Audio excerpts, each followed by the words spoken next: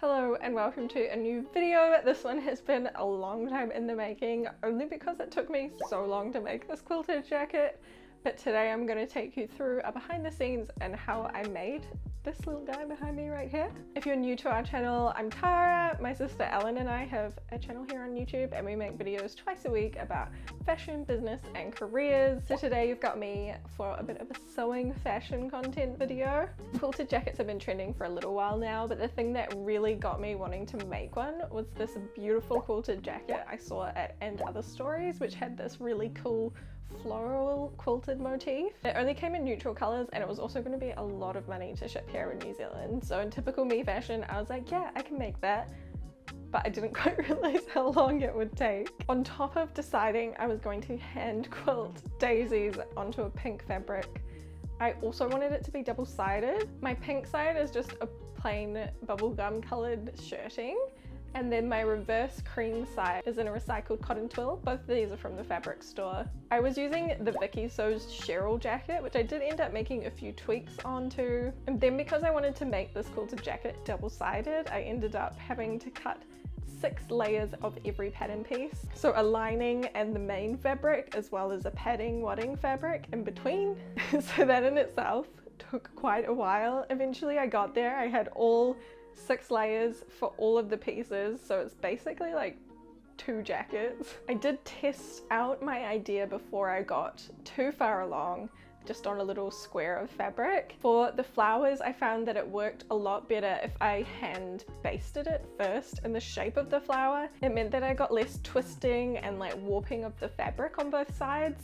So this is when things started to take a while. So I hand basted all of my layers together, so the three layers, I started out by doing a grid so that the base would stay the same. For my plain cream side, I ended up just leaving it as the grid but on my pink side, I hand traced around with a little flower template that I'd made using a disappearing pen and then I hand stitched the flowers in to hold it in place. This probably took the longest out of the entire process, but it did mean the end result turned out really nice and really smooth. So once I knew my testing was working, I basted the proper pattern pieces.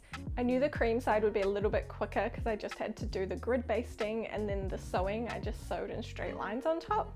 So I started with that and pinned the whole jacket together. It really did look a little bit like a mattress.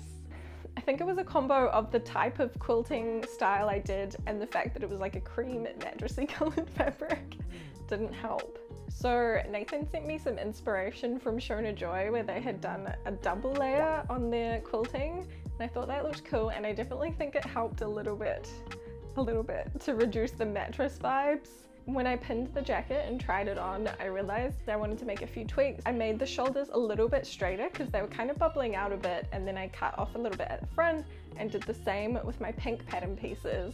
I did use the Frankie Shop quilted jacket as a bit of inspo as well. I was definitely going for that really oversized look which the Frankie Shop one had. I trimmed the pink side before I did all the flowers so I didn't need to do any extra flowers. Once I got all of my flowers hand basted, Sewing them together also was quite tricky. I spent a lot of time spinning my fabric around on the sewing machine, but I got there in the end.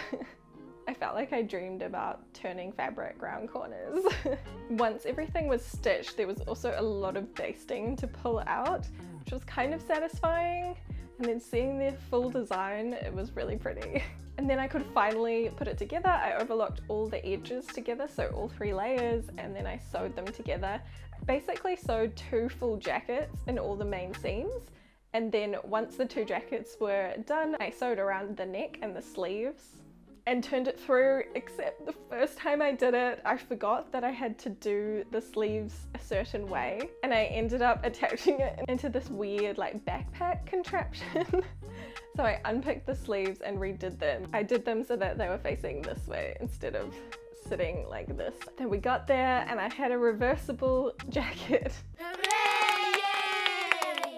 So I pressed everything flat and did a top stitching line around the edge. For the cream side I also made some big rectangular pockets I ended up top stitching these separately and then hand sewing them on. And I ended up not putting any pockets on the flower side because I thought it would make it quite chunky having so many layers but also it taken so long to do the floral quilting I didn't really feel like doing two more squares.